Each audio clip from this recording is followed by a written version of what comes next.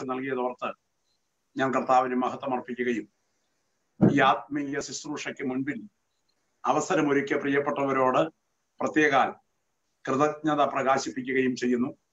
ദൈവവചനത്തിലേക്ക് അല്പ മിനിറ്റുകൾ പ്രാർത്ഥനാപൂർവം നമ്മുടെ ശ്രദ്ധ കേന്ദ്രീകരിക്കുവാനായി ദൈവം തന്നിരിക്കുന്ന സന്ദർഭമാകയാൽ നമ്മുടെ ജീവിതയാത്രയിലെ ഏറെ പ്രാധാന്യത്തോടുകൂടെ നാം ചിന്തിക്കുകയും ആത്മപരിശോധന ചെയ്യുകയും ചെയ്യേണ്ട സന്ദർഭത്തിലേക്ക് ചരിത്രം എത്തി നിൽക്കുന്നു എന്ന് ഞാൻ പറയാതെ തന്നെ നിങ്ങൾക്ക് എല്ലാവർക്കും നന്നായിട്ട് അറിയാം ആകയാൽ തികച്ചും ഏകാഗ്രതയോടുകൂടെ പ്രാർത്ഥനാപൂർവം ദൈവവചനത്തിലേക്ക് നമ്മുടെ ശ്രദ്ധയെ നമുക്ക് കേന്ദ്രീകരിക്കാം. നമ്മുടെ വ്യക്തി ജീവിതത്തിൽ ഒരിക്കൽ പോലും കണ്ടിട്ടില്ലാത്ത ഒരു പ്രത്യേക കാലഘട്ടത്തിലേക്കാണ് ഞാൻ നിങ്ങൾ എത്തിച്ചേർന്നിരിക്കുന്നത്. ഇതുപോലെ ഒരു കാലം നമ്മുടെ ആയുസിന്റെ ദിനങ്ങളിൽ എത്തിച്ചേർന്നിട്ടില്ല. നമ്മുടെ സമകാലീനരായിരിക്കുന്ന ആളുകളോട് സംസാരിച്ചാൽ ഇതുപോലൊരു സന്ദർഭത്തെ കുറിച്ചുള്ള ബോധ്യം അവർക്കില്ല. ഈ ഒരു പ്രത്യേക അന്തരീക്ഷത്തിൽ നാളെ എന്ത് സംഭവിക്കും എന്നുള്ള ഉത്കണ്ഠ അനേകരെ ഭരിച്ചുകൊണ്ടിരിക്കുന്ന സമയം. നമ്മുടെ വ്യക്തി ജീവിതത്തെ ദൈവവചനത്തിന്റെ മുൻപിൽ ആത്മപരിശോധനയ്ക്ക് വിധേയമാക്കി ഒരുക്കേണ്ടതിനും പ്രാർത്ഥനാപൂർവം ദൈവത്തെ സമീപിക്കേണ്ടതിനും ദൈവം നമുക്ക് തന്നിരിക്കുന്ന ഏറ്റവും വിലപ്പെട്ട സുവർണ അവസരത്തിലാണ് ഞാൻ നിങ്ങളും എത്തിച്ചേർന്നിരിക്കുന്നത്. ഇന്നലകൾ നമ്മളെ വിട്ട് കടന്നുപോയി. ആ നാളുകളെ സംബന്ധിച്ച് ഉത്കണ്ഠപ്പെട്ടിട്ട് യാതൊരു കാര്യവുമില്ല. ഇന്നലകൾ അവസാനിച്ചു. നാളുകളെ ഓർത്ത് ഭാരപ്പെട്ടിട്ട് നമ്മുടെ മാനസികാവസ്ഥകളിൽ വേദനകൾ വർദ്ധിപ്പിക്കുകയല്ലാതെ പരിഹാരം ഉണ്ടാകുകയില്ല. ഇന്നുകളെ ഏറ്റവും നന്നായി ഉപയോഗിക്കുവാൻ തയ്യാറാകുക മാത്രമാണ് നമ്മുടെ ജീവിതത്തിൽ കരണീയമായിട്ടുള്ളത്. ഇന്നലകളിൽ നിന്ന് പാഠങ്ങൾ ഉൾക്കൊണ്ടുകൊണ്ട് ഇന്നുകളെ നന്നായി പ്രയോജനപ്പെടുത്തേണ്ടതിന് നാളുകളെ ആസൂത്രണം ചെയ്യുന്നവനാണ് യഥാർത്ഥത്തിൽ ബുദ്ധിമാൻ. സമയം അതിവേഗം ഓടുകയാണ്. ഇയോബിന്റെ ഭാഷയിൽ പറഞ്ഞാൽ എന്റെ നാളുകൾ നെയ്ത്ത് തോടത്തിലും വേഗതയുള്ളത്. അർത്ഥാൽ തുണി നെയ്യുന്ന നെയ്ത്ത് തറയിൽ അതിവേഗം കടകടാരവങ്ങളോടുകൂടെ ഊടുപാവ് നൂലുകൾ നെയ്ത് നീങ്ങുന്ന രംഗം നമുക്കറിയാം. അതിൽ തോടം എന്ന ഒരു ചെറിയ ഉപകരണം സെക്കൻഡുകൾ കൊണ്ട് അപ്പുറം ഇപ്പുറം കടന്ന് അതിന്റെ പാവ ഊട നൂലുകളുടെ ഇടയിലൂടെ അതിന്റെ പ്രവൃത്തി നടത്തിക്കൊണ്ടിരിക്കുകയാണ്. അത് നെയ്ത്ത് എന്ന പ്രക്രിയ നടക്കുകയാണ്. നിമിഷങ്ങൾ നമ്മുടെ ജീവിതത്തിൽ മണിക്കൂറുകളായി മണിക്കൂറുകൾ ദിവസങ്ങളായി ദിവസങ്ങൾ ആഴ്ചകളായി ആഴ്ചകൾ മാസങ്ങളായി മാസങ്ങൾ വർഷങ്ങളായി അതിവേഗം പോകുകയാണ്. അതിവേഗം പോകുകയാണ്. ഇംഗ്ലണ്ടിലുള്ള പ്രസിദ്ധമായ ഒരു സൺ ഡയലിന്റെ അടിയിൽ ഒരു കുറിപ്പുണ്ട്. സമയം തീരുന്നതിന് മുൻപ് സമയത്തെ കുറിച്ച് ചിന്തിക്കുക. സമയം തീരുന്നതിന് മുൻപ് സമയത്തെ കുറിച്ച് ചിന്തിക്കുക. നമ്മുടെ ജീവിതത്തെ ദൈവവചനത്തിന്റെ മുൻപിൽ ഇതുപോലെ ആത്മപരിശോധനയ്ക്ക് നമ്മെ വിധേയമാക്കുവാൻ ലഭ്യമാകുന്ന അവസരം ജീവിതത്തിന്റെ സുവർണ അവസരമായി ജീവിതത്തിന്റെ ഭാഗ്യകാലമായി കണ്ടുകൊണ്ട് നമുക്ക് ഒരുമിച്ച് ദൈവമുഖത്തേക്ക് നോക്കാം. വിശുദ്ധ തിരുവഴുത്തിലേക്ക് ഞാൻ നിങ്ങളുടെ ശ്രദ്ധയെ ഇന്ന് രാത്രിയിൽ സഹർഷം സ്വാഗതം ചെയ്യുകയാണ്. നമുക്ക് ഇന്ന് രാത്രിയിലത്തെ വേദവിചിന്തനത്തിന് ആധാരമായി യോഹന്നാന്റെ സുവിശേഷം ഒന്നാം അധ്യായത്തിന്റെ ഇരുപത്തി ഒൻപതാമത് വാക്യം നിങ്ങളുടെ ശ്രദ്ധയിലേക്ക് ഞാൻ കൊണ്ടുവരുവാനായി താല്പര്യപ്പെടുന്നു. എടുത്ത പ്രിയപ്പെട്ടവർ ആരെങ്കിലും ഉണ്ടെങ്കിൽ ആ വേദഭാഗം ഒന്ന് വായിച്ച് സഹായിച്ചാൽ നന്നായിരുന്നു. യോഹന്നാന്റെ സുവിശേഷം ഒന്നാം അധ്യായത്തിന്റെ ഇരുപത്തി ഒൻപതാമത് വാക്യം.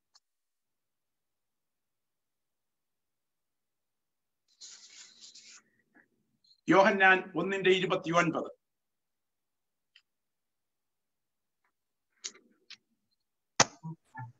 പിറ്റന്നാൾ യേശു തന്റെ അടുക്കൽ വരുന്നത് അവൻ കണ്ടിട്ട് ഇത് ലോകത്തിന്റെ പാപം ചുമക്കുന്ന ദൈവത്തിന്റെ കുഞ്ഞാട്. വായിച്ചാട്ടെ താഴോട്ട് വായിച്ചാട്ടെ എന്റെ പിന്നാലെ ഒരു പുരുഷൻ വരുന്നു. അവൻ എനിക്ക് മുൻപേ ഉണ്ടായിരുന്നത് കൊണ്ട് എനിക്ക് മുൻപ് മുമ്പനായി തീർന്നു എന്ന് ഞാൻ പറയുന്നവൻ ഇവൻ തന്നെ. ഞാനോ അവനെ അറിഞ്ഞില്ല. എങ്കിലും അവൻ ഇസ്രായേലിനെ വെളിപ്പെടേണ്ടതിന് ഞാൻ വെള്ളത്തിൽ സ്നാനം കഴിപ്പിക്കാൻ വന്നിരിക്കുന്നു എന്ന് പറഞ്ഞു. വളരെ പ്രാധാന്യം അർഹിക്കുന്ന ഒരു വേദഭാഗമാണ് അല്പ മിനിറ്റുകൾ നമ്മൾ ഒരുമിച്ച് ധ്യാനിക്കുവാനായി തുടങ്ങുന്നത്. നമുക്ക് എല്ലാവർക്കും കരങ്ങളൊന്ന് ഉയർത്തി കർത്താവിന് മഹത്വം അർപ്പിക്കാം. ദൈവവചനത്തിന്റെ മുമ്പിൽ അല്പസമയം ഒന്നിച്ചായിരിക്കാൻ ദൈവം തരുന്ന സന്ദർഭം ജീവിതത്തിന്റെ ഭാഗ്യമായി നമുക്ക് കാണാം. പ്രിയപ്പെട്ടവരെ ജീവിതത്തിൽ ഈ ദൂത് നിങ്ങളെ ശ്രദ്ധിച്ചുകൊണ്ടിരിക്കുന്ന പ്രിയപ്പെട്ടവർ വ്യത്യസ്തങ്ങളായ അനുഭവങ്ങളിലൂടെ കടന്നു പോകുന്നവരാകാം മാനസികമായി തകർന്ന് പ്രതീക്ഷകൾ അസ്തമിച്ചവർ ഞങ്ങളെ ശ്രദ്ധിക്കുന്നുണ്ടാകാം. പ്രതീക്ഷകൾ അസ്തമിച്ചിട്ട് ഇല്ല. ഇനിയും മുൻപോട്ട് ഒരു ഭാവിക്കും ഉള്ള പദ്ധതികൾ മുൻപിൽ തെളിയുന്നില്ല എന്ന് സ്വയം പറയുന്നവരുണ്ടാകാം. എന്നാൽ നിന്റെ ജീവിതത്തിന്റെ പുറകിൽ മഹാദൈവത്തിന്റെ കരം ചലിച്ചാൽ യേശുവിന്റെ കരം ഇറങ്ങി വന്ന് പ്രവർത്തിച്ചാൽ ഇതുവരെ കണ്ടിട്ടില്ലാത്ത ചില അധ്യായങ്ങൾ ജീവിതത്തിൽ ചെയ്തെടുക്കുവാൻ അവിടുത്തെ കരം ബലത്തോടെ ഉയരും എന്ന വസ്തുത വിസ്മരിക്കരുത്. നമുക്കറിയാം ദൈവത്തിന് സ്തോത്രം. നാസി തടങ്കൽ പാളയത്തിൽ അനേക പ്രിയപ്പെട്ടവർ കൂട്ടക്കൊല ചെയ്യപ്പെടുകയാണ്. ആ സമയം വില്യം ഫ്രാങ്ക്ലിൻ എന്നറിയപ്പെടുന്ന ശ്രദ്ധേയനായ ആ മനുഷ്യൻ ഒരുപറ്റം ആളുകളോടൊപ്പം മരണത്തെ പ്രതീക്ഷിച്ചു കഴിയുമ്പോൾ സഹപ്രവർത്തക സഹ ആചാരികളായ ആളുകളൊക്കെ പറഞ്ഞു ഇല്ല ഞങ്ങൾ ഇനിയും ഞങ്ങളുടെ ജീവിതത്തിൽ നിന്ന് ഒന്നും പ്രതീക്ഷിക്കുന്നില്ല. മനസ്സതുപോലെ നിരാശമാണ്. ഹൃദയം അതുപോലെ തകർന്നിരിക്കുകയാണ്. മരണത്തെ അവർ മുഖത്തോട് മുഖം കാണുവാൻ തുടങ്ങുകയാണ്.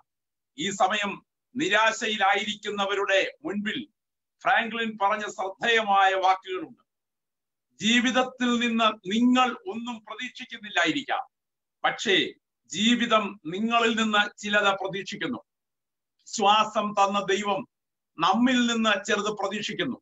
എന്നാൽ നിരാശ കൊണ്ട് ജീവിതത്തിന്റെ ഭാവി വഴികൾ അടഞ്ഞ് ഇനിയും പ്രതീക്ഷയ്ക്ക് വകയില്ല എന്നോർത്ത് വേദനിക്കുമ്പോൾ യേശുവിന്റെ കരം ഇറങ്ങി വന്ന് ഇന്ന് രാത്രിയിൽ നിങ്ങളെ തൊട്ടാൽ ഇതുവരെ കണ്ടിട്ടില്ലാത്ത ഒരു ദൈവപ്രവൃത്തി ഇന്ന് രാത്രിയിൽ നിങ്ങൾ കാണുവാൻ തുടങ്ങുന്നു എന്ന് ഞാൻ വിശ്വാസത്തോടെ ഈ സദസ്സിന് മുൻപിൽ വിളിച്ചു പറയുവാൻ എന്നെ കേൾക്കുന്നവരുടെ മുൻപിൽ വിളിച്ചു പറയുവാൻ ഞാൻ താല്പര്യപ്പെടുകയാണ്. നമ്മുടെ കാഴ്ചപ്പാടുകളെ അല്പ മിനിറ്റുകൾ നമുക്കൊന്ന് മാറി ചിന്തിക്കത്തക്ക വിധം പരിശുദ്ധാത്മാവ് നമ്മുടെ ആഴത്തിൽ ഒന്ന് ഒരുക്കിയെടുക്കുന്ന രാത്രിയാകേണ്ടതിന് ഒരുമിച്ച് കർത്താവിനോട് പ്രാർത്ഥിക്കാം. ഈ ദൂത് കേട്ടുകൊണ്ടിരിക്കുന്ന സമയം നിലവയിലേക്ക് നിയോഗത്തോടുകൂടി അയക്കപ്പെട്ട യോന തർസീസിലേക്കുള്ള കപ്പലിൽ കയറി യാത്രക്കിടയിൽ കടൽ ഇളകി ഒടുവിൽ കപ്പൽക്കാർ അവനെ എടുത്ത് കടലിലേക്ക് എറിയുമ്പോൾ മത്സ്യം വിഴുങ്ങുന്ന രംഗം അവന്റെ മാനസികാവസ്ഥ എന്തായിരുന്നു? എന്തായിരുന്നു മാനസികാവസ്ഥ? ഇല്ല. ഇനി ഒരിക്കലും ദൈവശബ്ദം എന്റെ കർണപുടത്തിൽ മുഴങ്ങുകയില്ല. ഇതെന്റെ ചരിത്രത്തിന്റെ അവസാനത്തെ അധ്യായമാണ്. ഇതോടുകൂടെ എന്റെ ജീവിതം തീരുകയാണ്. എന്റെ ശുശ്രൂഷയ്ക്ക് ഫുൾ സ്റ്റോപ്പ് വീഴുകയാണ്. അഭിമുഖീകരിക്കുന്ന പ്രതികൂലങ്ങളുടെ ആഴങ്ങൾ കണ്ടുകൊണ്ട് ഇനിയും ഒരു ഭാവിക്ക് എന്റെ മുൻപിൽ പ്രതീക്ഷയില്ല എന്ന് ചിന്തിച്ച ആ യോനയെ കൊണ്ട് തന്നെ അവന്റെ ദൗത്യം നിർവഹിച്ചെടുക്കേണ്ടതിന് ഒരു പുനർനിർമ്മാണത്തിന് വേണ്ടി ആ കരം കുശവന്റെ കളിമണ്ണിന്റെ മേലുള്ള അധികാരം പോലെ ഉപയോഗിക്കപ്പെട്ടെങ്കിൽ നിശ്ചയമായും ചൂരച്ചെടി തണലിൽ നിരാശ കൊണ്ട് മനസ്സ് തകർന്നായിരിക്കുന്ന ഏലിയാവിനെ വിശേഷ നിയോഗം നൽകി ദൈവം എഴുന്നേൽപ്പിച്ചതുപോലെ ഈ ശുശ്രൂഷ നടന്നുകൊണ്ടിരിക്കുമ്പോൾ സ്വർഗത്തിന്റെ കേറ്ററിംഗ് സംവിധാനത്തിൽ തയ്യാറാക്കിയ വചനത്തിന്റെ വിശിഷ്ട അടകൊണ്ട് നിങ്ങളെ ഈ രാത്രിയിൽ തട്ടിയെഴുന്നേൽപ്പിച്ച് നിങ്ങളെ കുറിച്ചുള്ള മഹത്തായ ദൗത്യം ചെയ്തെടുക്കേണ്ടതിന് ഒരു വിശേഷ അഭിഷേകം നിങ്ങൾക്കായി വ്യാപരിക്കുന്നു. നമുക്ക് ഒന്നിച്ച് നോക്കാം. ദൈവത്തിന് സ്തോത്രം. നമ്മുടെ വാഴ്ത്തപ്പെട്ട കർത്താവിനെ കുറിച്ച് ചില വസ്തുതകൾ ഞാൻ നിങ്ങളുടെ മുൻപിലേക്ക് ഒന്ന് കൊണ്ടുവന്ന് എന്റെ വാക്കുകൾ ഉപസംഹരിപ്പാനായി താല്പര്യപ്പെടുകയാണ്. യേശു ക്രിസ്തു ആരാണ്? ലോകത്തിൽ അനേകർ ചോദിക്കുന്ന ചോദ്യം യേശു ആരാണ്? അവൻ ഒരു മതസ്ഥാപകനല്ല. അവൻ ഒരു രാഷ്ട്ര സ്ഥാപകനല്ല അവൻ ഒരു തത്വചിന്തകനല്ല. അവൻ കേവലം ഒരു ത്യാഗിയല്ല. അവൻ കേവലം ഒരു യോഗിയല്ല. അവൻ ഒരു സത്യാന്വേഷിയല്ല.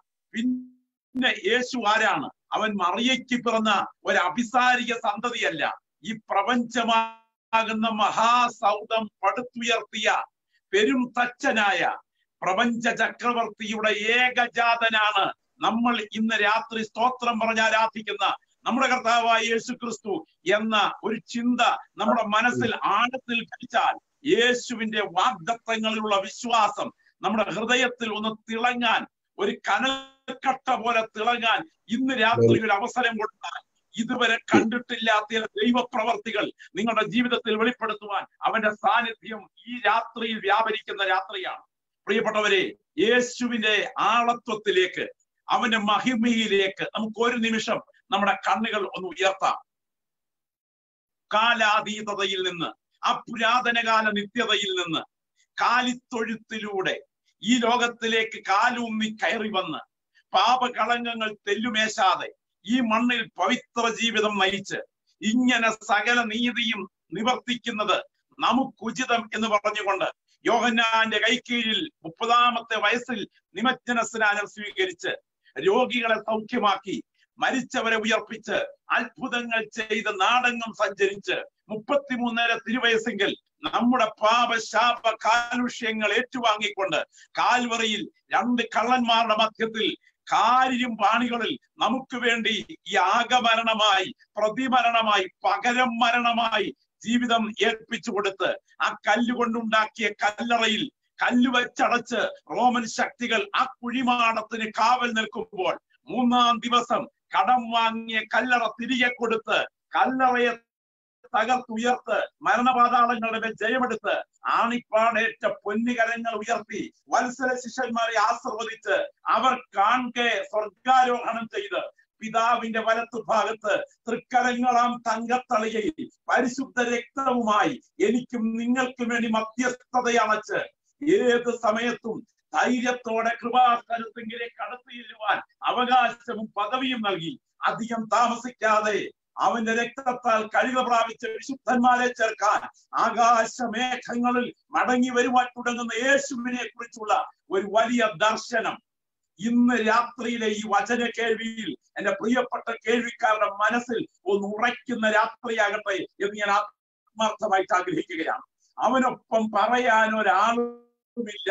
അവനെ പോൽ ആരാധ്യൻ ആരുമില്ല. പ്രിയപ്പെട്ടവരെ ലോകത്തിൽ ജീവിച്ച് ജനിച്ച് മരിച്ച് മൺമറഞ്ഞ സകലർക്കും മൂന്നേ മൂന്ന് അധ്യായങ്ങളാണ് ഈ ഭൂമിയിലുള്ളത്. മൂന്ന് അധ്യായങ്ങൾ മാത്രം. നാലാമതൊരു അധ്യായം മനുഷ്യകുലത്തിൽ ആർക്കും ഇവിടെ ഉണ്ടായിട്ടില്ല. ലോകത്തിലെ മതസ്ഥാപകന്മാരെ എടുക്കൂ ബുദ്ധിരാക്ഷസന്മാരെ എടുക്കൂ യുഗപ്രഭാവന്മാരെ എടുക്കൂ സമുദായ പരിഷ്കർത്താക്കളെ എടുക്കൂ രാഷ്ട്രമീമാംസകന്മാരെ എടുക്കൂ ചരിത്രം ഇന്നലകൾ കണ്ടറിഞ്ഞ എല്ലാ മനുഷ്യകുലത്തിലെ പ്രമുഖന്മാരെ എടുക്കൂ. അവരുടെ എല്ലാം ജീവിതത്തിന് മൂന്നേ മൂന്ന് അധ്യായങ്ങളെ ഉള്ളൂ. നാലാമതൊരു അധ്യായമില്ല. എന്താണ് മൂന്ന് അധ്യായം? ഒന്ന് ജനനം രണ്ട് ജീവിതം മൂന്ന് മരണം. ഈ മൂന്ന് അധ്യായങ്ങളല്ലാതെ നാലാമതൊരു അധ്യായം മനുഷ്യകുലത്തിലെ ആളുകൾക്കില്ല. എന്നാൽ അങ്ങനെ ഇരിക്കെ ജനനത്തിന് മുൻപേ ചരിത്രമുണ്ടായിരുന്ന മരണത്തിന് ശേഷം ഏത് ഡെഡ് ബോഡി കല്ലറയിൽ വെച്ചോ അത് തന്നെ കാലൊന്ന് എഴുന്നേറ്റ് വന്ന് ചരിത്രം തുടർന്ന മരിക്കുവാൻ കഴിയാത്ത മഹത്വ ശരീരത്തിൽ മനുകുലത്തിൽ നിന്ന് ഉയർത്ത ഒരുവനുണ്ടെങ്കിൽ അതിന്ന് രാത്രി നമ്മൾ വിശ്വസിക്കുന്ന ഞാൻ പ്രസംഗിക്കുന്ന നമ്മുടെ കർത്താവ് മാത്രമാണ് എന്ന ബോധ്യം അകത്ത് ഭരിക്കുന്ന പ്രിയപ്പെട്ടവർ യേശുവിനെ കാണേണ്ടതുപോലെ കാണാൻ നമ്മുടെ കണ്ണ് തുറക്കുന്ന രാത്രിയാകട്ടെ. ഞാൻ ഇങ്ങനെ ചിന്തിക്കുന്നു. യേശു ആരാണ്? മറിയയുടെ കൈക്കുമ്പിളിൽ കിടക്കുന്ന ഉണ്ണി യേശു എന്ന പ്രതലത്തിൽ മാത്രമാണോ നമ്മൾ യേശുവിനെ കുറിച്ച് അറിയുന്നത്? നമുക്കറിയാം. ഈ ഭൂമിയുടെ വലിപ്പം ഒൻപത് കോടി മുപ്പത് ലക്ഷം മൈൽ അപ്പുറത്ത് നിന്ന് കത്തിജ്വലിക്കുന്ന ഒന്നര കോടി ഡിഗ്രി സെൽഷ്യസിൽ അകം കത്തി അതെ ഉരുകുന്ന ഹീലിയം കത്തുന്ന ആണവ നിലയമായ സൂര്യൻ ആ സൂര്യന്റെ ആ ആ പ്രവർത്തന രീതികൾ ഇതൊക്കെ നമുക്കറിയാം.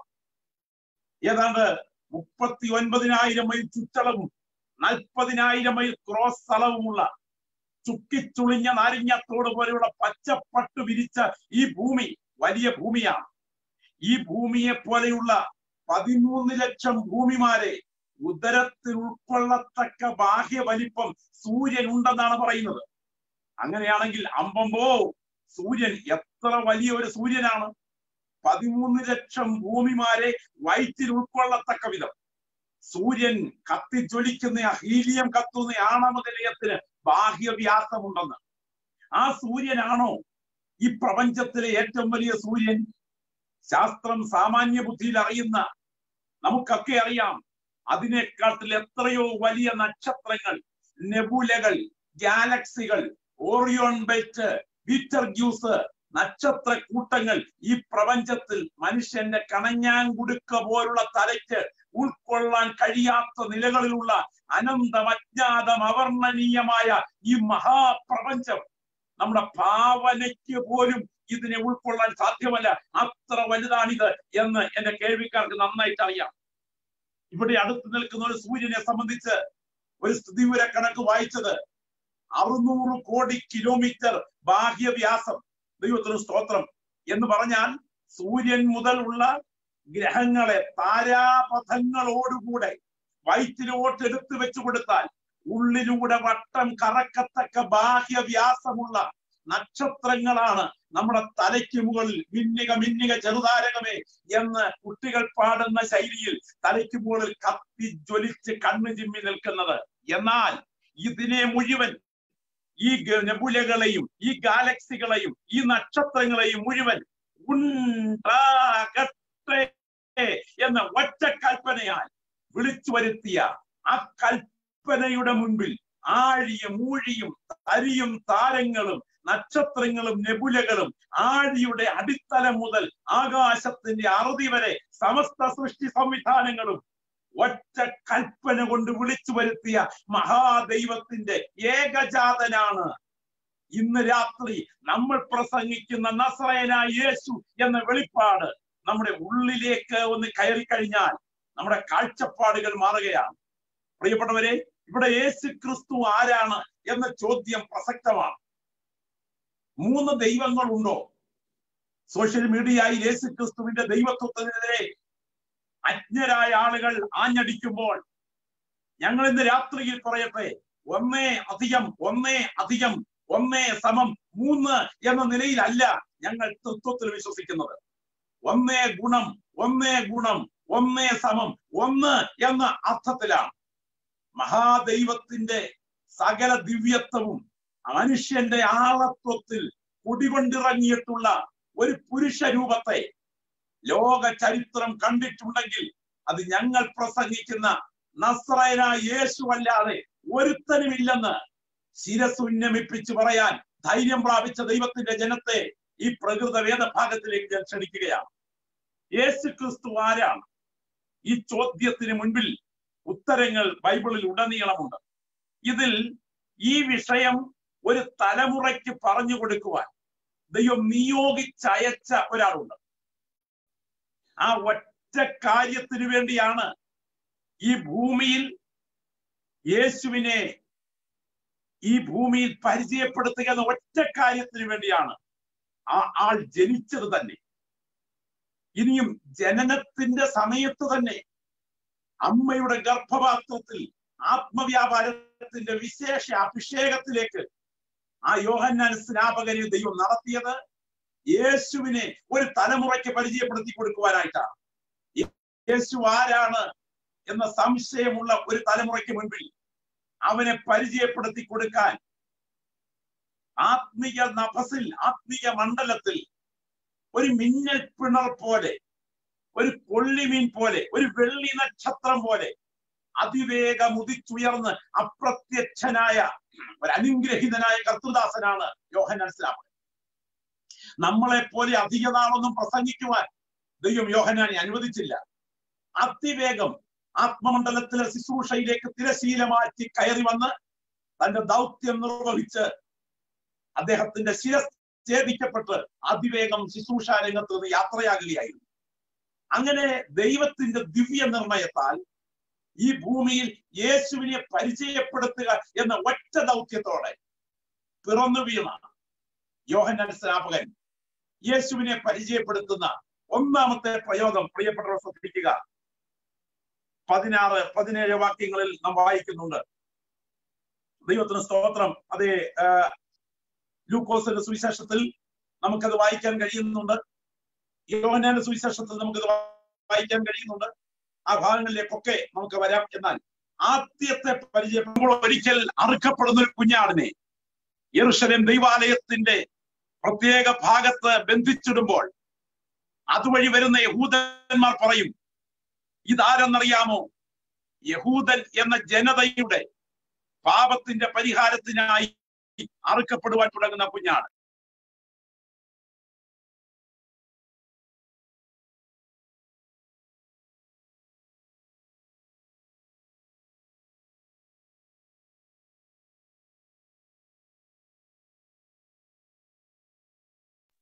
ദൈവത്തിന് സ്തോത്രം. ലോകത്തിന്റെ ചുമക്കുന്ന ദൈവത്തിന്റെ കുഞ്ഞാട് എന്ന ചിത്രം അവിടെ വ്യക്തമാക്കുകയാണ്. ഇതാ ലോകത്തിന്റെ പാപം ചുമക്കുന്ന ദൈവത്തിന്റെ കുഞ്ഞാട് എന്ന് യോഹന്നാൻ പരിചയപ്പെടുത്തുന്നു. യോഹന്നാൻ യേശു ക്രിസ്തുവിന്റെ കാൽവറിയിൽ നടക്കുന്ന ബലിമരണത്തെയാണ് അവിടെ ചൂണ്ടിക്കാണിക്കുന്നത്. എന്റെയും നിന്റെയും പാപം വഹിച്ചുകൊണ്ട് യാഗമരണം അനുഭവിപ്പാൻ വരുന്ന ദൈവകുഞ്ഞാടിന്റെ ചിത്രം യോഹന്നാൻ അവിടെ ചിത്രീകരിക്കുകയാണ്. ദൈവത്തിന് സ്തോത്രം. യേശു ക്രിസ്തു ആര്? ലോകത്തിന്റെ പാവം ചുമക്കുന്ന ദൈവത്തിന്റെ കുഞ്ഞാണ്. യേശുവിനെ അറിയണമെങ്കിൽ കഷ്ടാനുഭവങ്ങളിലൂടെ അറിയണം. അവന്റെ ഗതസമനയിലെ പ്രാണവേദനയിൽ അവിടുന്ന് പ്രാർത്ഥിക്കുവാൻ ഗതസമനയിൽ കയറിയ പ്രത്യേക സമയം. അവന്റെ ചോര വിയർക്കുന്ന ഘട്ടം. അനുഭവങ്ങളിൽ അത്ഭുതങ്ങളെല്ലാം അവിടെ തിരശീല വീഴുകയാണ്. ഗതസമനയുടെ പ്രാണവേദനയിൽ ചോര വിയർക്കുമ്പോൾ അകത്തോട്ട് കയറി പ്രാർത്ഥിക്കുമ്പോൾ പുറത്തോട്ട് ഇറങ്ങി വരുന്ന സമയത്ത് ശിഷ്യന്മാരെല്ലാം ഉറക്കമാണ്. എന്ന് രാത്രി ഒരു ദൂത് വിളിച്ചു പറയട്ടെ നിന്നെ സ്നേഹിക്കുന്നവരും നീ സ്നേഹിക്കുന്നു എന്ന് നീ പ്രതീക്ഷിക്കുന്നവരും നിന്റെ ജീവിതത്തിന്റെ ഗതസമനങ്ങളിൽ നിന്നെ വിട്ട് കൈമാറുമ്പോൾ വിട്ടൊഴിയുമ്പോൾ ഒരിക്കലും കൈവിട്ടൊഴിയാതെ നിന്റെ ജീവിതത്തിന്റെ ഏത് ശോധനകളിലും ഇറങ്ങി വന്ന് നിനക്ക് വേണ്ടി മഹത്വം വെളിപ്പെടുത്തുവാൻ ആ കരം ബലത്തോടെ ചലിക്കുന്നുണ്ട്. അവിടെ നിന്ന് അങ്ങോട്ട് കഷ്ടതയുടെ കാളരാത്രികളായിരുന്നു.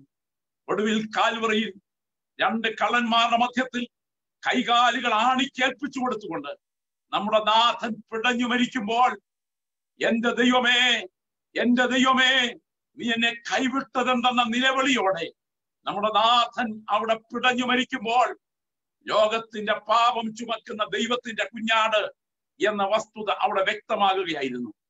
ഈ ദൂത് ഇന്ന് രാത്രി ഞാൻ ഇവിടെ സംസാരിച്ചു കൊണ്ടിരിക്കുമ്പോൾ അവന്റെ രക്തത്തിന്റെ ശക്തി നിങ്ങൾക്ക് വേണ്ടി വ്യാപരിക്കുന്ന രാത്രിയാണ്. ഈ ദൂത് ഈ രാത്രി ഇവിടെ മുഴങ്ങിക്കൊണ്ടിരിക്കുമ്പോൾ മറ്റാർക്കും പരിഹരിക്കാൻ കഴിയാത്ത കടുങ്കട്ടു വീണ വിഷയത്തെ യേശുവിന്റെ കരം ഇറങ്ങി വന്ന് തൊടുന്ന രാത്രിയാകുന്നു. ഈ രാത്രി പ്രാർത്ഥിച്ചേൽപ്പിക്കാൻ കഴിയുമെങ്കിൽ അവന്റെ കരം നിങ്ങൾക്കായി ഉയരുകയാണ്. ഒന്നാമത്തെ പരിചയപ്പെടുത്തൽ ലോകത്തിന്റെ പാപം ചുമക്കുന്ന ദൈവത്തിന്റെ കുഞ്ഞാണ്. ഞാൻ എന്നേക്ക് ചില വർഷങ്ങൾക്ക് പുറകിൽ ഓർക്കുന്നു ഒരു സുവിശേഷ യോഗത്തിൽ സംസാരിക്കുകയാണ്. സംസാരിച്ചു കൊണ്ടിരിക്കുമ്പോൾ യോഗത്തിന്റെ മുൻപിലിരിക്കുന്ന ഒരു സഹോദരി അവളുടെ ഭാവചേഷ്ടകൾ കൊണ്ട് അവൾ ക്രൈസ്തവ പശ്ചാത്തലത്തിലുള്ളവളല്ല എന്ന് മനസ്സിലായി. എന്തിന്? ആ പ്രത്യേക അന്തരീക്ഷത്തിൽ ശുശ്രൂഷ നടക്കുമ്പോൾ പ്രാരംഭ മിനിറ്റുകളിൽ അവൾ മൗനം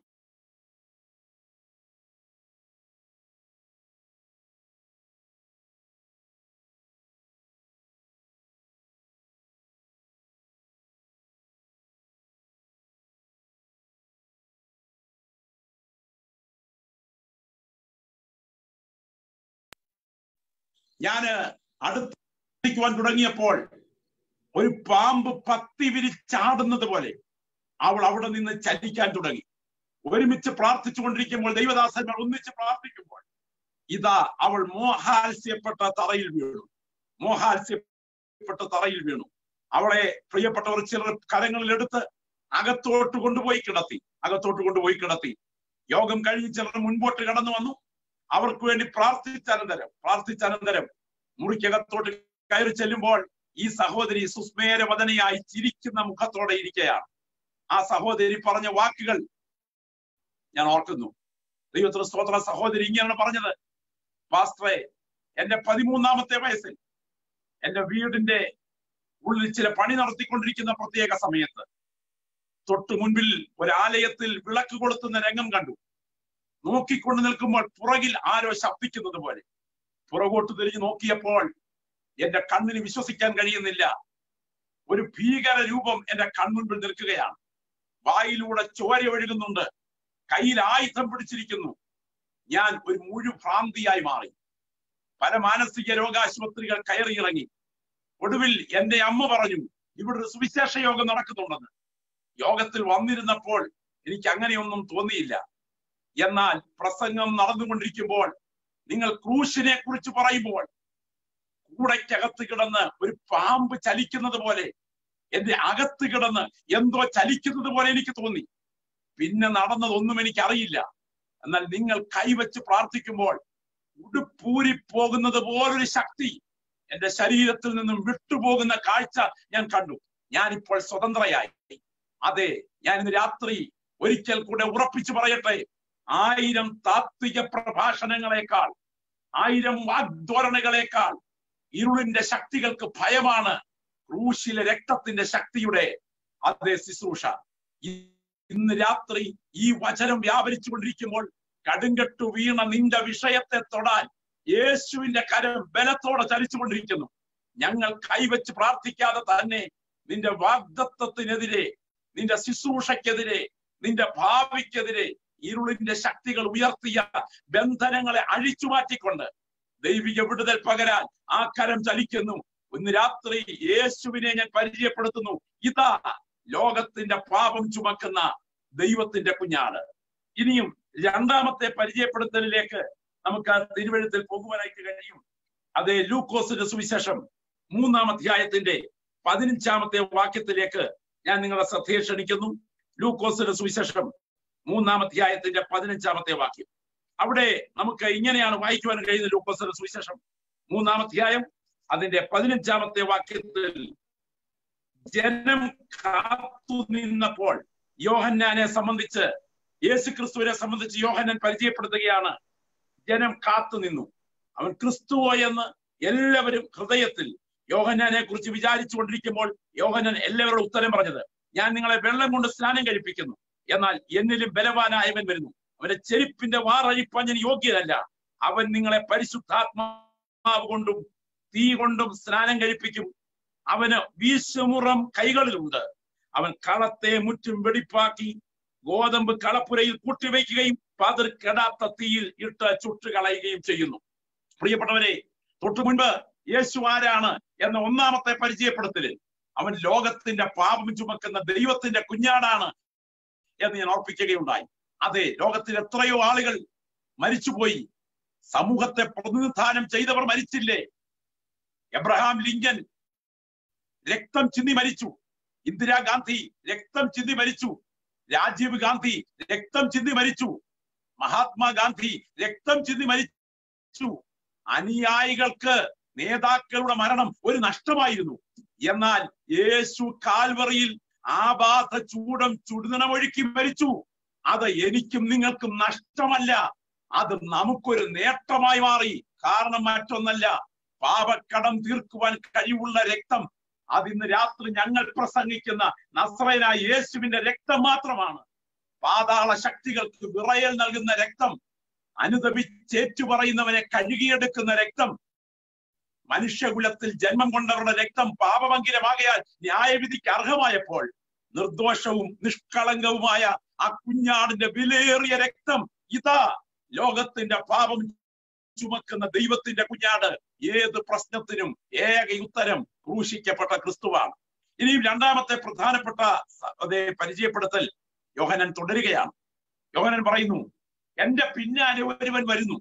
അവന്റെ കാലിലെ ചെരുപ്പിന്റെ വാറഴിപ്പാനുള്ള യോഗ്യത പോലും എനിക്കില്ല. അത്ര വലിയവനാണ് എന്റെ പിൻപിൽ വരുന്നവൻ. സ്തോത്രം. ആ കാലഘട്ടത്തെ നമ്മൾ മനസ്സിലാക്കുമ്പോൾ അടിമ ഉടമ സമ്പ്രദായം നിലവിലിരിക്കുന്ന കാലഘട്ടമാണ്. അടിമകളാണ് ഉടമകളുടെ കാലിലെ ചെരിപ്പഴിച്ചു മാറ്റുന്നത്. എന്നാൽ ഇവിടെ യോഹനൻ പറയുകയാണ് ഈ നിൽക്കുന്നത് ആരും നിങ്ങൾക്ക് അറിയാമോ ഇവന്റെ കാലയിലെ ചെരിപ്പഴിച്ചു മാറ്റാനുള്ള യോഗ്യത പോലും എനിക്കില്ല. അത്ര വലിയവനാണ് ഈ നിൽക്കുന്നവൻ. സ്തോത്രം. ഇവൻ രണ്ട് ദൗത്യം നിർവഹിപ്പാനായിട്ടാണ് ഈ ഭൂമിയിൽ ജന്മം കൊണ്ടത്. ഒന്നാമത്തെ കാര്യം പറഞ്ഞു ലോകത്തിന്റെ പാപം ചുമക്കുന്ന ദൈവത്തിന്റെ കുഞ്ഞാടാണ്. രണ്ടാമത്തെ കാര്യം ഓർപ്പിക്കുന്നു. വീശുമുറം ഇവന്റെ കൈകളിലുണ്ട്. ഇവൻ കളത്തെ മുറ്റും വെടിപ്പാക്കും. ഗോതമ്പ് കളപ്പുരയിൽ ചേർത്ത് വയ്ക്കും. പാതിർ കെടാത്ത തീയിലിട്ട് ചുട്ടുകളയും. ഇവിടെ ഒരു ചിത്രീകരണ ഭാഷ യോഹനൻ ഉപയോഗിക്കുകയാണ്. എന്താണ് ചിത്രീകരണ ഭാഷ? ഇതാ നിങ്ങൾ കളത്തിലേക്ക് ശ്രദ്ധ കേന്ദ്രീകരിക്കുക. ആ കളത്തിൽ തണ്ടിൽ നെല്ലിന്റെ തണ്ടിൽ ഇതാ പതിരും മണിയും ആ കതിരിൽ നിൽക്കുന്നു. ഒരേ പൊസിഷനിൽ അടുത്തടുത്താണ് ഈ പതിരും മണിയും നിൽക്കുന്നത്. പതിര് നിൽക്കുന്നതിന്റെ തൊട്ടടുത്താണ് മണി നിൽക്കുന്നത്. മണിയും പതിരും നിൽക്കുമ്പോൾ ഒരു സാധാരണ കാഴ്ചക്കാരന് ഇതിൽ ഏതാ പതിര് ഇതിൽ ഏതാ മണി എന്ന് പെട്ടെന്ന് തിരിച്ചറിയാൻ ബുദ്ധിമുട്ടുണ്ട്. കാരണം മണിയുടെ അതേ ജൂബ തന്നെയാണ് പതിരിട്ടിരിക്കുന്നത്. പതിരിന്റെ അതേ ഡ്രസ് തന്നെയാണ് മണി ഇട്ടിരിക്കുന്നത് അടുത്തടുത്ത കസേരയിലാണ് പതിരും മണിയും ഇരിക്കുന്നത്. തലപൊക്കി അമ്പട ഞാനേ എന്ന മട്ടിൽ അഭിനയത്തോടെ ഈ വയലിൽ അകത്ത് യാതൊരു കാമ്പുമില്ലാതെ വളർച്ചയുടെ ഏതോ ഘട്ടത്തിൽ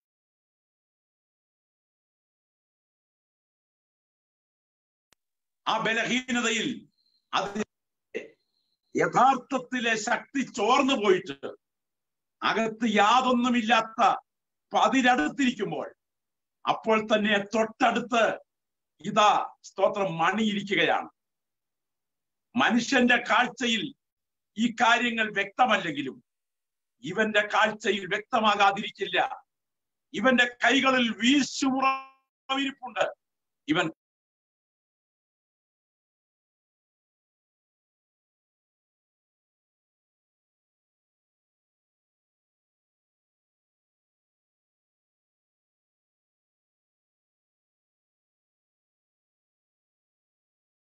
യിലെ ബലിമരണമാണ് ഒന്നാമത്തെ രണ്ടാമത്തെ രംഗം അവൻ ന്യായാധിപനാണെന്ന് വ്യക്തമാക്കുകയാണ്. പ്രിയപ്പെട്ടവരെ ഇവിടെ കോടതി ഉണ്ടെങ്കിൽ ഉയരത്തിൽ കോടതിയുണ്ട്. ഇവിടെ ഫുൾ ബെഞ്ച് ഉണ്ടെങ്കിൽ ഉയരത്തിൽ ഫുൾ ബെഞ്ച് ഉണ്ട്. ഇവിടെ വിധി വിസ്താരമുണ്ടെങ്കിൽ ഉയരത്തിൽ വിധി വിസ്താരമുണ്ട്. ഇവിടെ പ്രതിക്കൂടുണ്ടെങ്കിൽ ഉയരത്തിൽ പ്രതിക്കൂടുണ്ട്. ഇവിടെ സാക്ഷിക്കൂടുണ്ടെങ്കിൽ ഉയരത്തിൽ സാക്ഷിക്കൂടുണ്ട്. ഇവിടെ തൊണ്ടി സാധനങ്ങൾ ഉണ്ടെങ്കിൽ ഉയരത്തിൽ തൊണ്ടി സാധനങ്ങളുണ്ട് ഇവിടെ ജഡ്ജിമെന്റ് സീറ്റ് ഉണ്ടെങ്കിൽ അവിടെ ജഡ്ജിമെന്റ് സീറ്റ് ഉണ്ട്. ആ ജഡ്ജിമെന്റ് സീറ്റിൽ ഇരുന്നു കൊണ്ട് മാനവ കുലത്തെ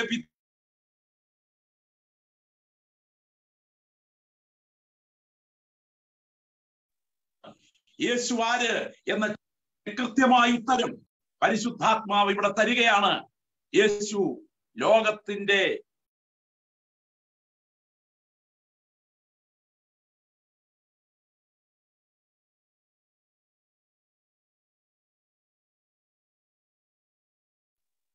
അടുത്ത രംഗം പരിശുദ്ധാത്മ വീശുമുറമിന്റെ കൈകളിലുണ്ട്.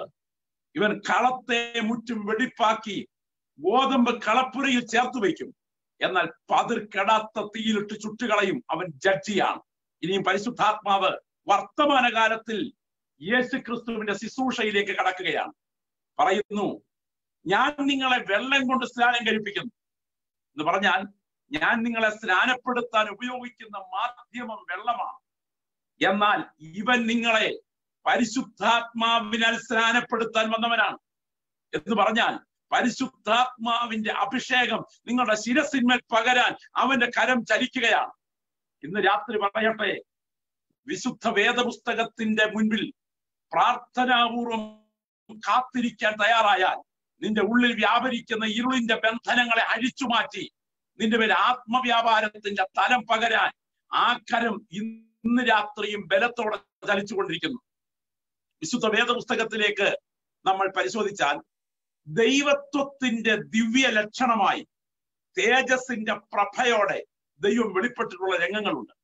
ആദ്യമായി ദൈവം വെളിപ്പെട്ടിട്ടുള്ളത് അൽത്താരയിലല്ല മുൾപ്പടർപ്പിന് മുകളിലേക്ക് ദൈവത്തിന്റെ തേജസ് ഇറങ്ങി വരികയാണ്.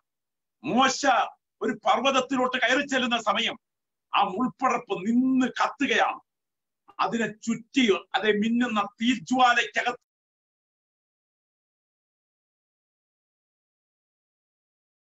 ശരീരത്തിൽ ആ ശബ്ദം പുറത്തേക്ക് വരുന്നു. മോശേ മോശേ ഇങ്ങോട്ട് അടുക്കരുത്. നീ നിൽക്കുന്ന സ്ഥലം വിശുദ്ധ ഭൂമിയാകയാൽ നിന്റെ കാലിൽ ചെരുപ്പഴിച്ചു മാറ്റുക. നിന്റെ ഉദ്യമത്തിൽ നിന്ന് പിന്മാറുക. ദൈവത്തിന് സ്തോത്രം. എന്റെ പ്രിയപ്പെട്ടവരെ ആ തീയുടെ വിശേഷത കണ്ടോ? അത് സാധാരണ തീയല്ല. ഇത് ചുറ്റിപ്പരിപാലിക്കുന്ന തീയാണ്. ഇന്ന് രാത്രി ഈ ദൂത് നിങ്ങൾ കേട്ടുകൊണ്ടിരിക്കുമ്പോൾ നിങ്ങളുടെ മേൽ ആധിപത്യം പുലർത്തുന്ന ഇരുളിന്റെ കരങ്ങൾ എത്ര പ്രബലമാണെങ്കിലും ഈ ആത്മവ്യാപാരത്തിന്റെ ശക്തി നിങ്ങളുടെ മേൽ വ്യാപരിച്ചാൽ ഇന്ന് വരെ കണ്ടിട്ടില്ലാത്ത ഒരു ദിവ്യ തേജസ്സിന്റെ പൊതിച്ചിൽ നിങ്ങളുടെ മേൽ പകരാൻ ആ കരം ബലത്തോടെ ചലിക്കുന്നു. നിങ്ങളെ കത്തിച്ചു കളയുന്ന തീയല്ലിത്. നിങ്ങളുടെ ശരീരത്തെ ഗ്രസിക്കുന്ന ഏതെങ്കിലും രോഗത്തിന്റെ അണുബീജങ്ങൾ ഉണ്ടെങ്കിൽ അതിനെ കത്തിച്ച് ചാമ്പലാക്കിക്കൊണ്ട് നിങ്ങളെ വിടുതലിലേക്ക് കൊണ്ടുവരുവാൻ ആക്കരം ബലത്തോടെ ഇന്ന് രാത്രി ഉയർന്നുകൊണ്ടിരിക്കുകയാണ്. പക്ഷേ നീ ഒരാൾ കണ്ട തീയട പുറകെ വരേണ്ടവരല്ല ഈ ജനം. ഈ ജനവും എന്നെ ഒന്ന് കാണണം. അതുകൊണ്ട് തന്നെ പർവതത്തിന് മുകളിൽ ദൈവപുത്രൻ വെളി ദൈവം വെളിപ്പെടുന്ന രംഗം വരികയാണ്. മേഘം അന്ധതമസ് കൂരിരട്ടു വാക്കുകളുടെ ശബ്ദം ഇവയിൽ ഇറങ്ങി വസിക്കുന്ന ഒരു പർവതത്തിന് മുകളിലേക്ക് ദൈവത്തിന്റെ ദാസൻ മോശ കയറി ചെല്ലുന്ന സമയം. അയ്യോ ഞാനും പേടിച്ചു വിറയ്ക്കുന്നു.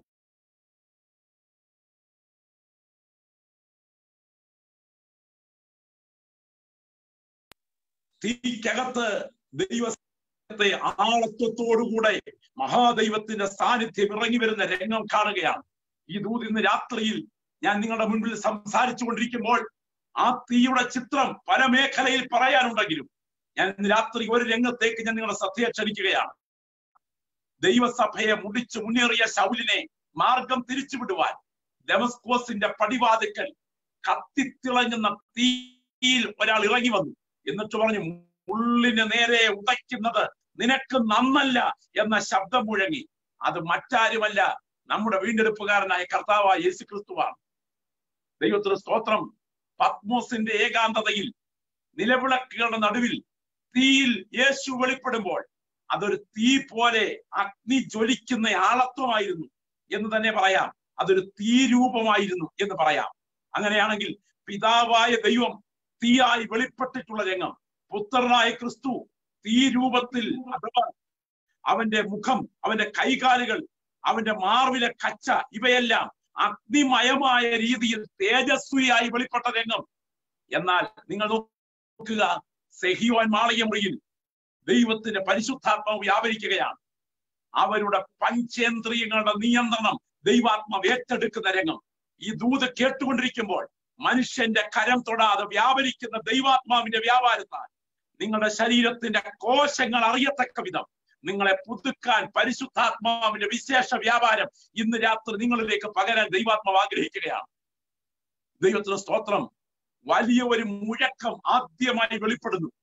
നൂറ്റി ഇരുപത് പേർ ഒരുമിച്ച് പ്രാർത്ഥനാ നിരതരായിരിക്കുന്ന സഹിയോൻ മളയമുറി മുഴക്കം വെളിപ്പെടുന്ന ചെവിയിലാണ്. അങ്ങനെയാണെങ്കിൽ അവരുടെ കേൾവിയുടെ തലത്തെ ദൈവാത്മാവ് എടുത്തു. അഗ്നി ജ്വാല പോലെ പിളർന്നിരിക്കുന്ന നാവുകൾ അവർക്ക് പ്രത്യക്ഷമായി അവരുടെ കണ്ണിന്റെ കാഴ്ചയുടെ തലത്തെ ദൈവാത്മാവ് എടുത്തു. അവരുടെ നാവിൽ നിന്ന് അന്യഭാഷ പുറത്തേക്ക് ഒഴുകി അവരുടെ നാവിന്റെ തലത്തെ ദൈവാത്മാവ് എടുത്തു. പഞ്ചേന്ദ്രിയങ്ങളുടെ മേൽ ദൈവശക്തി വ്യാപരിച്ചു. അവരുടെ തൊക്കിൽ പതിഞ്ഞിറയുന്ന ഇറങ്ങുന്ന ആത്മവ്യാപാരം. ഞാൻ രാത്രി പറയട്ടെ എത്ര കനത്ത പ്രതികൂലങ്ങൾ ജീവിതത്തിനെതിരെ ഇരമ്പി ഉയർന്നാലും പ്രാർത്ഥനാ മുറിയിലേക്ക് കയറൂ. കർത്തൃസന്നിധിയിൽ നിലവിളിച്ച് കരയാൻ തയ്യാറാകൂ. ജീവിതത്തിന്മേൽ ആധിപത്യം പുലർത്തുന്ന ഇരുളിന്റെ കരങ്ങളെ അഴിച്ചു മാറ്റിക്കൊണ്ട് നിന്നിലേക്ക് ആത്മവ്യാപാരത്തിന്റെ കനൽക്കട്ടകൾ പകരാൻ ത്തിന്റെ ജനം ഒരുമിച്ച് പ്രാർത്ഥിക്കട്ടെ. നമുക്കറിയാം ഫസ്റ്റ് കെ ഇ എബ്രഹാം അവർകൾ പ്രശസ്തനായ കർത്തൃദാസൻ ഏകാന്തമായ സാഹചര്യത്തിൽ ഒരിക്കൽ ആത്മനിയോഗ പ്രകാരം തിരുവനന്തപുരത്ത് സി മനശെ എന്നൊരു ദൈവഭൃത്തിന്റെ അടുക്കൽ പ്രാർത്ഥിക്കുവാനായി കടന്നുപോയി. പ്രാർത്ഥന നടന്നുകൊണ്ടിരിക്കുമ്പോൾ ഈ ആത്മവ്യാപാരത്തിന് വേണ്ടി വേഴാമ്പൽ വെള്ളത്തിന് വേണ്ടി കരയുന്നത് പോലെ കൊതിച്ചുകൊണ്ടിരിക്കുന്ന സമയം. മനശെ എഴുന്നേറ്റ് വന്ന് കെ. അബ്രഹാം അവറുകളുടെ തലയിലേക്ക് കൈവച്ചു പ്രാർത്ഥിച്ചു. പ്രാർത്ഥന നടന്നുകൊണ്ടിരിക്കുമ്പോൾ ഇലക്ട്രിക് ഷോക്ക് വ്യാപരിക്കുന്നത് പോലെ ദൈവശക്തി അദ്ദേഹത്തിലേക്ക് ഒഴുകിയിറങ്ങി. അദ്ദേഹം അന്യഭാഷയിൽ സംസാരിച്ചു തുടങ്ങി. അദ്ദേഹം പറയുന്നു മറക്കാൻ കഴിയാത്ത അനുഭവമായിരുന്നു അത്. തിരിച്ചു താൻ പുത്തൻകാവിൽ തന്റെ വീട്ടിലെത്തി. അടുത്ത ദിവസങ്ങളിൽ അവഗണനകൾ നേരിട്ടു. എന്നാൽ ഒരു ശബ്ദം അടുത്ത ദിവസം സ്കൂളിൽ നിന്ന് പോയിച്ചു വന്നപ്പോൾ കേട്ടു തന്റെ സ്നേഹിതന്റെ ഭാര്യ റാഹേലമ്മയെ കരിമൂട്ടം കടിച്ചു. എന്തിന്? വിവരമറിഞ്ഞ് വീട്ടിലേക്ക് ചെല്ലുമ്പോൾ ആ സഹോദരി മരണത്തിലേക്ക് അടുക്കുകയാണ്. കണ്ണുകൾ അടയുകയാണ്. ദൈവത്തിന് സ്തോത്രം. കണ്ടിറങ്ങാൻ നേരത്തുള്ളിൽ മിന്നൽ പിണർ പോലെ ദൈവാത്മാവ് ഇടപെട്ടു. ഉണ്ണുണ്ണി സി മനശയുടെ വീട്ടിൽ വെച്ച് നിന്റെ മേൽ ഞാൻ പകർന്ന ദൈവശക്തി കേവലം കാഴ്ചയ്ക്കുള്ളതല്ല ഇവളുടെ ശരീരത്തിന്മേൽ അത് വ്യാപരിപ്പാൻ തുടങ്ങുന്നു. അവൾക്ക് വേണ്ടി പ്രാർത്ഥിക്കുക. പരിഹസിക്കുന്ന ആളുകൾ ചുറ്റും നിൽക്കുന്ന സമയം.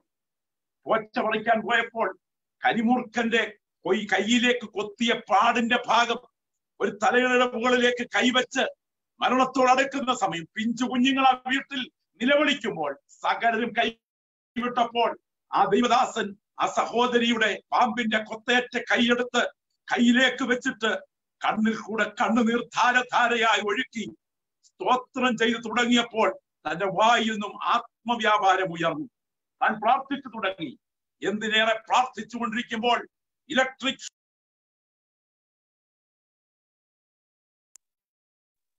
അദ്ദേഹം വ്യാപരിച്ച ദൈവാത്മാവിന്റെ വ്യാപാരത്താൽ ഇതാ ആ സഹോദരി അതിശക്തമായ രോഗശാന്തി അനുഭവിച്ചു. അഥവാ ആ വലിയ വിഷബാധയിൽ നിന്ന് വിടുതൽ അനുഭവിച്ചു. അവൾ ചാടിയിടീറ്റു ദൈവത്തിന് സ്തോത്രം. അവൾ ഭക്ഷണം കഴിച്ച് ബലം പ്രാപിച്ചു. കെ. അബ്രഹാം അവറുകൾ തന്റെ ജീവിതാനുഭവത്തിൽ പറഞ്ഞ വാക്ക് ഞാൻ ഇവിടെ ഉദ്ധരിക്കട്ടെ.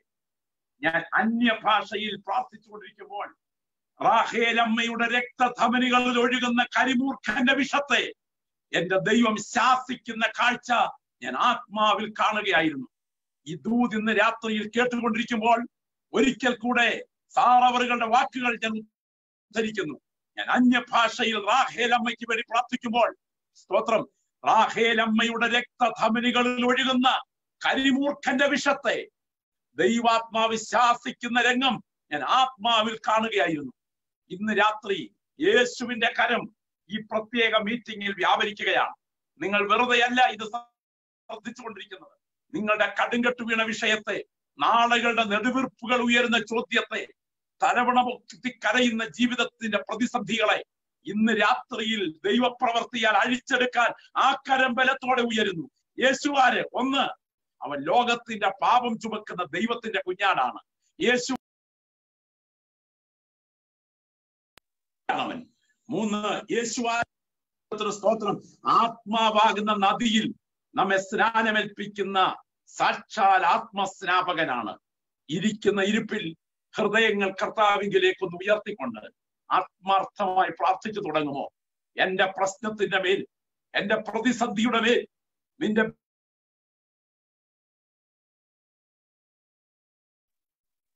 അവൻ നിങ്ങൾക്കായി ചലിക്കാണ് ഞാൻ ഇന്ന് രാത്രിയിൽ ഒരിക്കൽ കൂടെ പറയട്ടെ? അവനൊപ്പം പറയാൻ ഒരാളുമില്ല. അവനെ പോലെ ആരാധ്യൻ ആരുമില്ല.